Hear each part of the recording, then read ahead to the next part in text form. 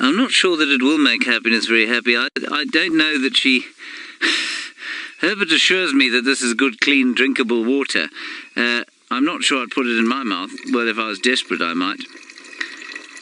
But what we've done is we've gone to an elephant hole, and Herbert has instructed me on how to clear the originally dirty water out. And basically, you just pull it all out and then wait for the new water to seep in, and it's about as clean as that. Now, I suspect that you could make it much cleaner if you were like Steph and you were prepared to filter it through your sock, which I am inescapably not prepared to do on account of the fact that the socks I'm wearing now I wore yesterday. And uh, it's not because I'm disgusting everybody, it's because I packed all my other socks. So I'm not going to try and filter them through my socks.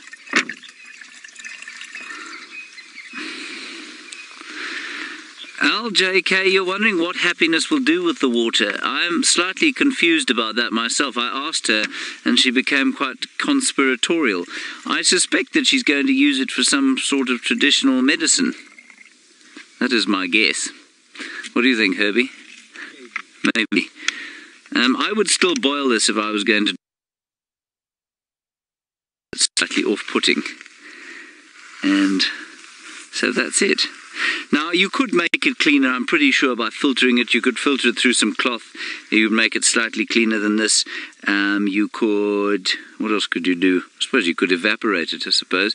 But it does, as Louise say, says, look like homemade ginger beer. Well, happiness, I've done my task for you today, and I hope that you will uh, not, uh, you know, look at me askance when I hand you this thing that looks like homemade ginger beer.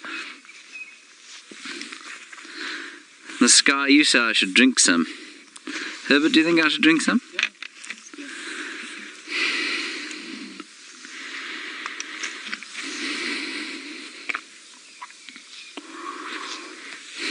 It's a bitter.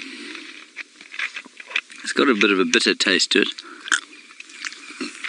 But it, uh, yeah, should be fine. We really can drink water like that and it doesn't seem to be a problem. Um, Herbert, if I get sick on the aeroplane tonight, you will be in big trouble. Now,